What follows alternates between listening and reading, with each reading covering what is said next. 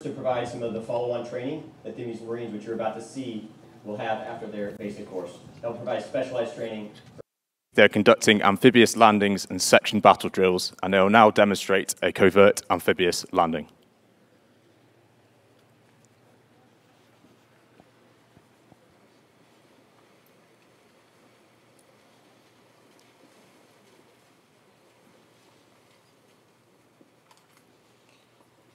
You now see the Royal Marine and Kenya Marine instructors moving across to the section commanders and troop commanders.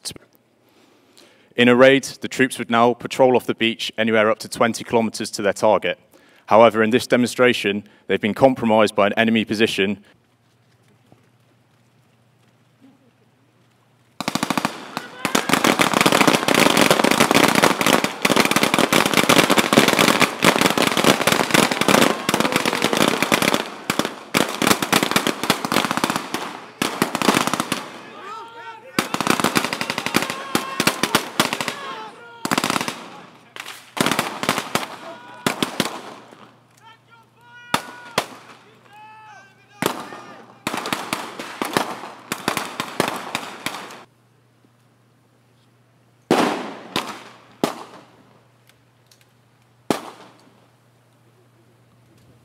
Now they've fought through the position, they'll move into their reorg, while they'll conduct a head count of their Marines and then await future taskings from their higher headquarters.